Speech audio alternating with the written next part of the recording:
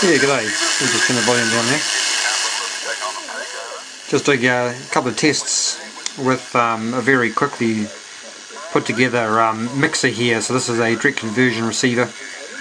Um, just using the uh, just using the RF from the little RF amplifier that we did yesterday. So that's coming through into a, um, a dual JFET mixer uh, in a cascode formation. So very much so, very similar to what uh, N6QW Pete Juliano is doing at the moment. So I'm quite keen to uh, give this one a try just to see how it uh, compares with some of the double balance mixers that I have been using uh, previously. And uh, honestly I have not in any way, shape or form optimized this. Just using straight out 100 nanofarad capacitors throughout um, just to provide the coupling and uh, yeah, it's actually working quite good absolutely zero bandwidth at the moment in terms of uh, constraining the audio bandwidth.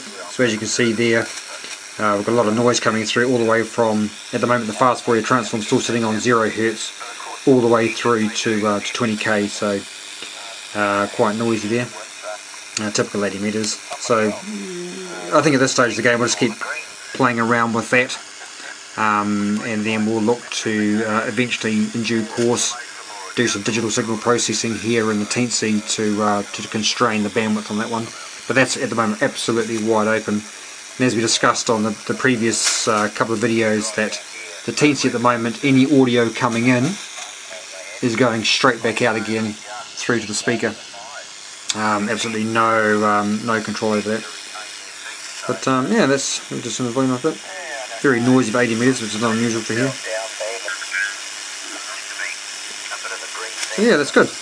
Um, and just the other input to that particular mixer there is the, uh, the SI5351, so just taking one of the clock outputs straight in to the second gate.